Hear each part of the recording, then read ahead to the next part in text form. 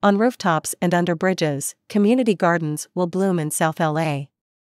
Inspired by Fannie Lou Hamer, officials imagined a microeconomy of urban farms after taking stock of the community gardens that sprouted in Los Angeles with little to no investment.